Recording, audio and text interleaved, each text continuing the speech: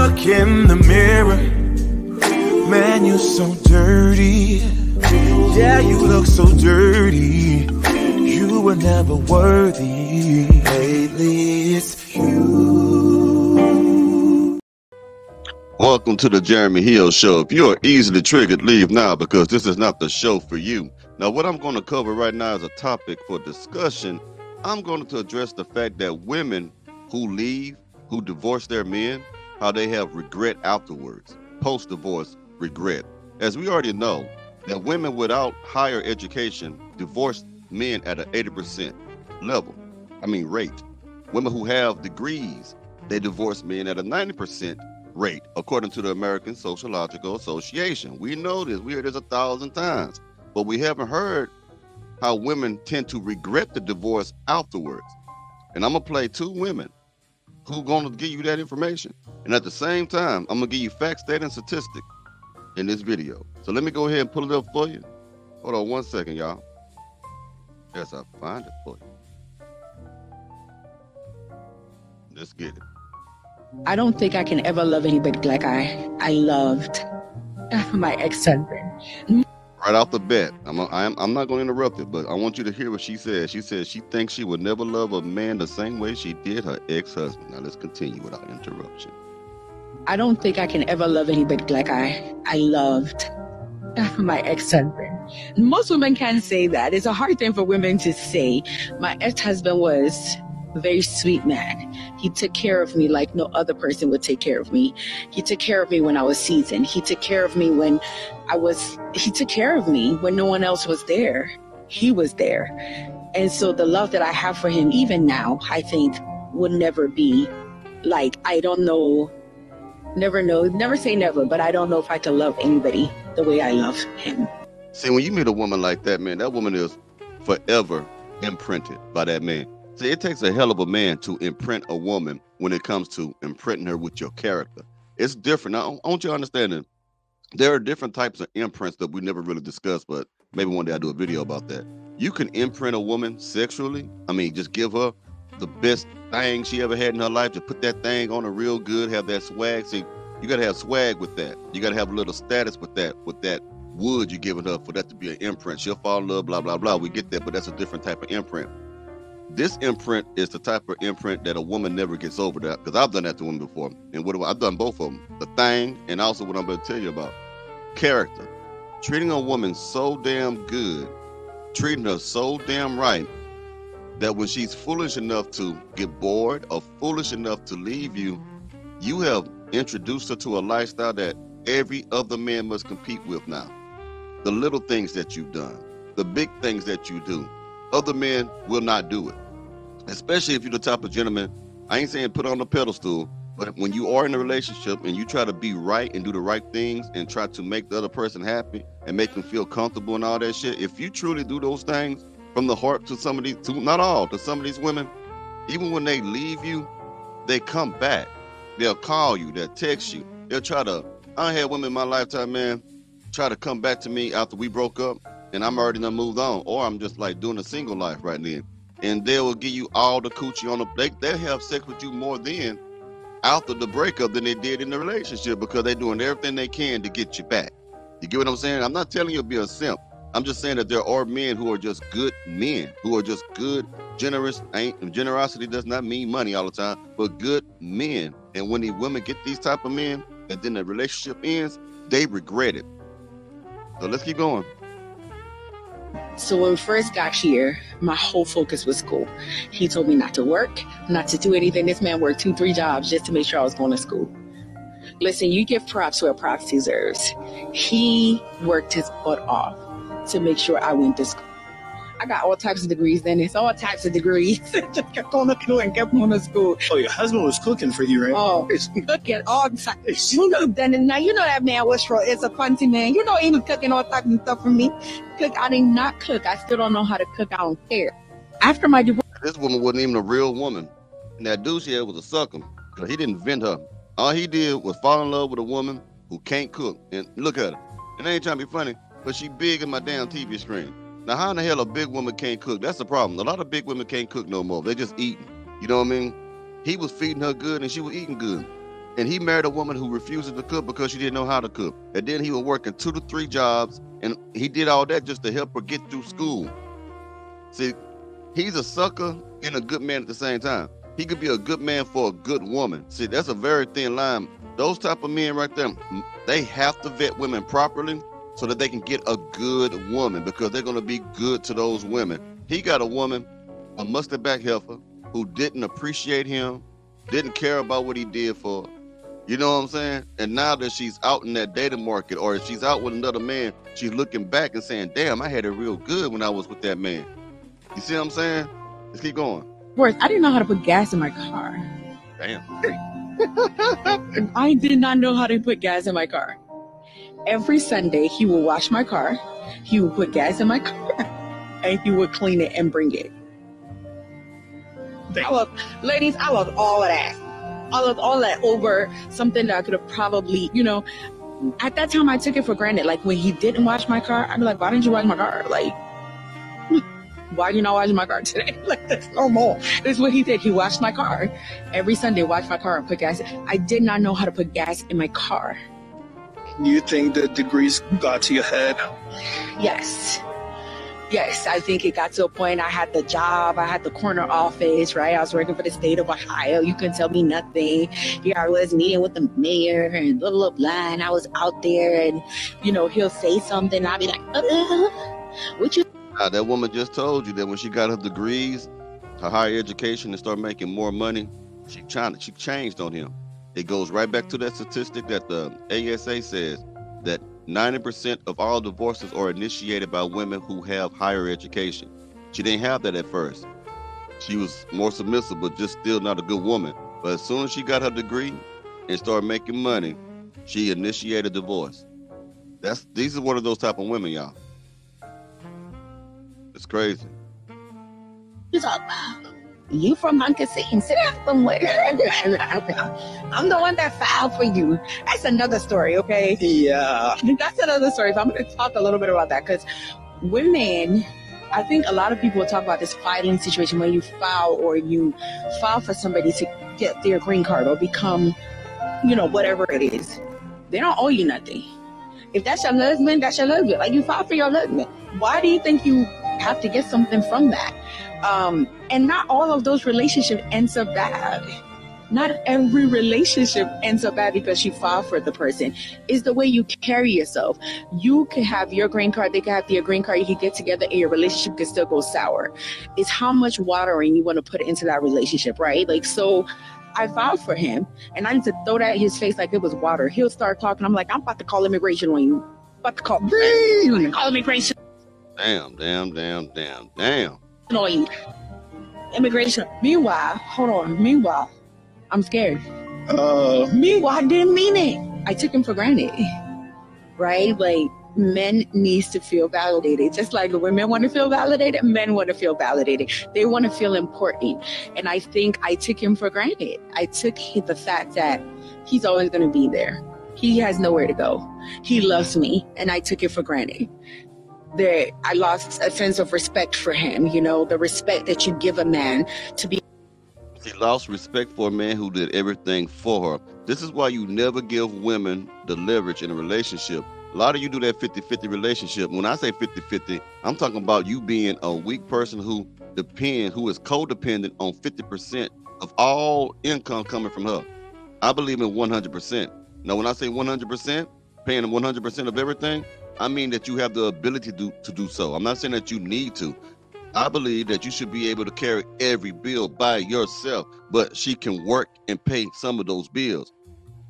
You have the ability to pay 100% of the bills in case something happens to her to where she cannot work, or in case she leaves your ass, and you'll be able to pay all the bills without stressing and downsizing and downgrading. That's what I mean by 100%.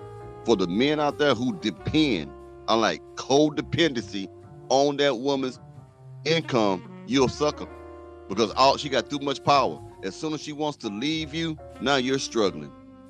When I say be able to pay uh, um, 100% of all the bills, if you need to, that's putting you in the best version of yourself.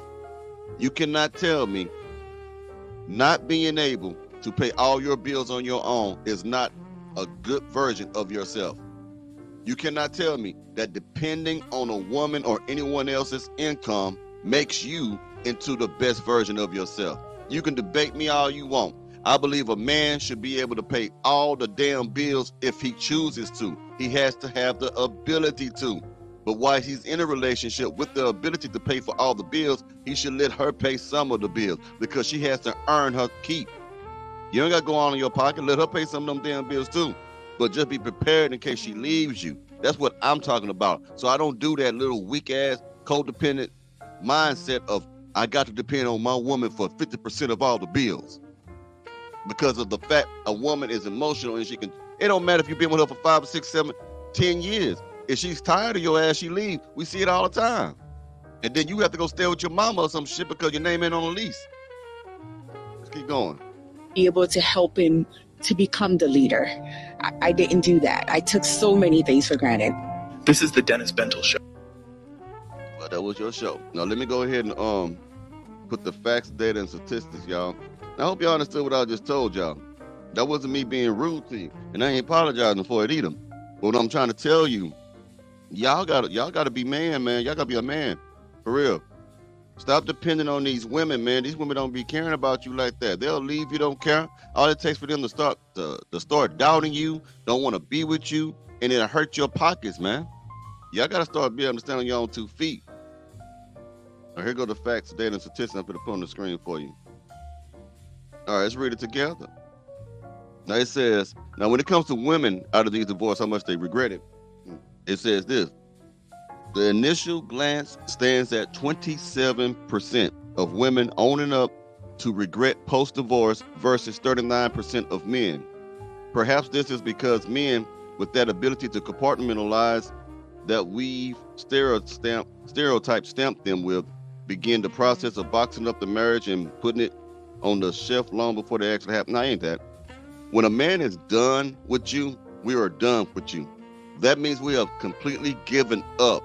There's nothing you can do to salvage a relationship from a man who really believes in his heart that it's a waste of time of to be with you. It's just impossible. We'll be we'll move on by then. So your regret is different from ours. Most time when women regret it because of the resources that they no longer have or because there's no longer a father there for those children. When men get tired of you, we don't want nothing to do with you. It's more absolute with us. Now let's keep going. All right, I don't got my glasses, but it says approximately 50% of divorced couples say they regret their decision to separate. Mm-hmm. This statistic is a powerful reminder that divorce is not a decision to be taken lightly. It highlights the fact that half of all divorced couples regret their decision to separate, indicating that the decision to divorce should be made with careful consideration and thought. This statistic is an important piece of information to include in a blog post about regretting divorce statistics as it serves to emphasize the gravity of the situation. All right, quick. Get the other one for you. One second, y'all. All right. The continuation of what I was just reading. All right. 68% of divorced individuals with children reported that they wish they had tried harder. This statistic is a powerful reminder of the potential consequences of divorce, particularly for those with children. It speaks to the deep regret that many divorced individuals feel and serves as a warning to those considering divorce to think carefully before making such a life altering decision. Okay. Regretting divorce statistics overview 53% of divorced people say some part of them still love their ex. Like the first woman I just showed you, she obviously loves her ex, okay? The statistic, this statistic serves as a poignant reminder that divorce is rarely a clean break. Even when a couple decides to part ways, the emotional connection they once shared can remain. It speaks to the complexity of the situation and the difficulty of letting go of a relationship that once meant so much.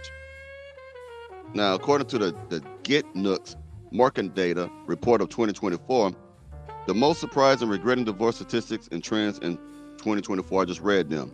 That's a recent one. See if there's any more. Okay, here we go. 42% of divorced couples said they could have saved their marriage by putting in more effort. This statistic is a powerful reminder that divorce is not always the only solution to a troubled marriage. It, mm, excuse me. It suggests that with enough effort, Many couples could have salvaged their relationship and avoided the heartache of divorce. This is an important sorry, this is an important point to consider when discussing regretting divorce statistics, as it provides a glimmer of hope that with the right effort, couples can still find a way to make their marriage work. That lady didn't want to make her marriage work. That was the problem. Okay? Now let's keep going. One second. I got one more clip to show you of another woman. I think you may find it very interesting. I'm going to say this with love. I'm going to talk to you like you're one of my coaching clients because I have ladies who actually believe this.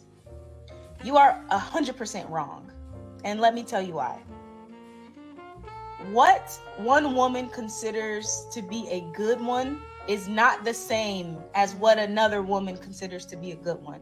I have clients who regret divorcing their husbands because they later realized that what they were asking for or what they were feeling in the moment was just that a feeling in the moment. Many women have good ones, but what I consider to be a good one may not be what you consider to be a good one. Some mm. women think that a man who he's basically he does everything the same every day. You know exactly where he is. He's literally has the same schedule every day. They think that is boring. They think it is. That's the problem. They think it's boring, but another word for that is unappreciative of what they have. Ungrateful. See, look here. Is it even worth marrying some of these modern day women if you already know that there's going to be a chance that she gets bored and leave you? Because that's what I've been covering a whole lot lately. It ain't always because of infidelity. It ain't all because of um spousal abuse of any kind, physical or verbal. Sometimes they just get bored with you doing the right thing. Now let that sink in your mind. Bored with you doing the right things. You're not doing the wrong things. If you did the wrong things, you probably fight for you and try to make you kind of make it work. But you're doing the right things, being stable, being dependable, having a routine, being consistent. The shit they say they always want, right? But you're doing the right things and you're getting punished for it. No good deed goes unpunished, I guess, like they say. So is it worth it? That's the real question. So you really have to vet women, and I strongly encourage you getting a woman from a different um, cultural background than American, someone without a westernized point of view, because a lot of these westernized women are, in my most humble opinion, not worth it. I'm telling you that right now. Okay, they drop you at a drop of a dime. Five years into a relationship, they are bored and they see Pookie. And Pookie give them what they want. So she go behind your back and get Pookie thing put up in her. And then she leaves you. Her and Pookie may stay together for two three, even four years. That falls apart. Now she is chronically single. Every time she get a man, it don't work out. Years pass by. Think about what I'm saying, man. He literally has the same schedule every day. They think that is boring. They think it is mundane. And they want something else. They want fire and spice and spontaneity and they want all the things. And there's nothing wrong with that. But women divorce men for that. It doesn't mean he wasn't a good one at all. It means he wasn't a good one for her at the time. Because if that wasn't the case, even Tyrese's ex wife, Tyrese the singer, would not have admitted to regretting divorcing him. Exactly. Exactly. Exactly. These women get bored. Even with multi-millionaires like Tyrese Gibson. That woman thought she had a payday, but she hasn't been able to get no money from Tyrese because he had a prenup and she still challenged that. But um, Tyrese Gibson said he has spent over half a million dollars fighting her lawyers because she's doing everything she could or can to try to break the prenup. But since she's not getting no money because she don't have enough money to box with him because he got a lot more money than she do, now she comes on social media saying that she regret divorcing him she regret listening to her friends. See, that's that that conniving in a woman. She thought she had it made. All right. And if she would have got the money, she would have run around saying, Hey, I'm glad I divorced him. But now times are hard, and she realized she had a good man, and no other man is gonna do anything with her. All that she looked good now. So most men are just tagging it and moving around, hitting it and moving around, and she don't want that. And she got a family she used to have. Now she want to come back to Tyrese. Now she want to make content online um, trying to be the next Kevin Samuels. I used her clip before way in the day, and I didn't know it was her.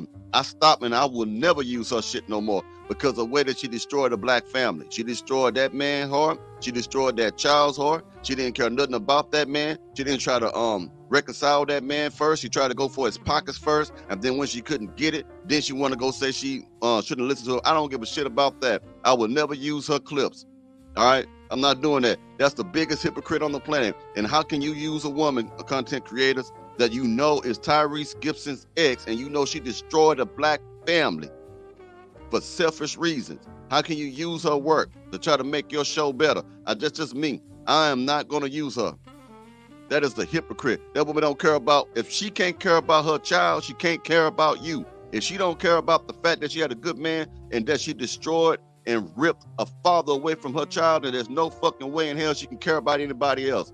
If a mother can't care for her child, and Tyrese wasn't abusing her, she said that. She said Tyrese never abused her or cheated on her as far as she know, and she still left. Fuck up, man. Anyway, as I was saying. But anyway, um, I got me hot behind that shit, man. I'll talk to y'all later. Y'all be careful out there. You hear?